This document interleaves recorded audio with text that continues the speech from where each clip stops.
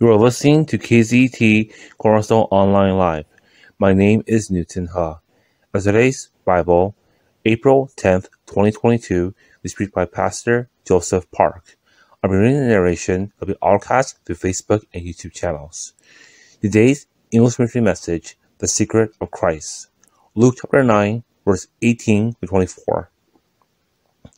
One day, Jesus left the crowds to pray alone. Only his disciples were with him, and he asked them, Who do people say I am? Well, they replied, Some say John the Baptist, some say Elijah, others say you are one of the other ancient prophets risen from the dead.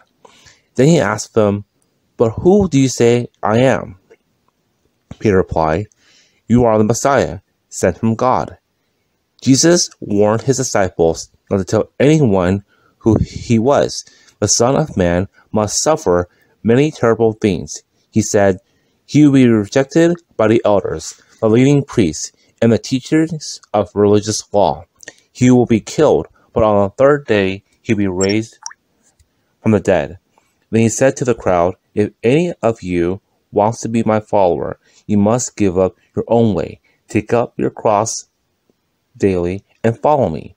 If you try to hang on your life, you will lose it. But if you give up your life for my sake, you will save it. You are listening to KZET Cornerstone Online Live. My name is Newton Ha. As today's Bible, April 10th, 2022, is preached by Pastor Joseph Park. I'm reading the narration of the Allcast through Facebook and YouTube channels. Today's English ministry message, The Secret of Christ. Luke chapter 9, verse 18 to 24. One day, Jesus left the crowds to pray alone. Only his disciples were with him, and he asked them, Who do people say I am? Well, they replied, Some say John the Baptist, some say Elijah, others say you are one of the other ancient prophets risen from the dead. Then he asked them, But who do you say I am? Peter replied, You are the Messiah, sent from God.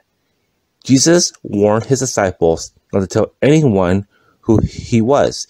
The Son of Man must suffer many terrible things. He said, He will be rejected by the elders, the leading priests, and the teachers of religious law. He will be killed, but on the third day he will be raised from the dead.